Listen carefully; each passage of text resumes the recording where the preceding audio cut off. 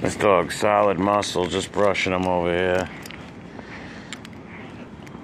He's a big boy now. He turned three years old. Uh, August 3rd, he turned three years old. Let's give him a nice brush down over here. Right, boy. Right, boy. He's a three year old Doberman Pinscher. Most of you know Rocco. He's the nephew of Bruno. And he's a beast. Look at him. He's a total beast. Uh, you really can't tell how big he is until you see him in person. Andiamo. Andiamo. Man.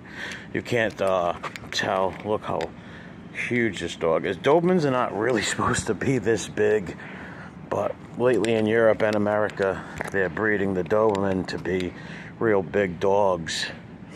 And they're huge. Like some people think he's pot Rottie.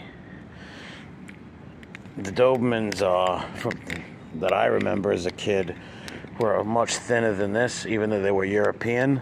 They were still European Dobermans, but they were thinner than this. But they're beautiful dogs. I love them. I love this dog to death, right, boy? He's such a good boy. He's spoiled rotten. But yeah, Zeke. Bene. Hi, hi, Star. Yeah. Bene. Buona la. Good boy. Fricked out. He's a good dog. He's got a shiny coat. Say bye to everybody.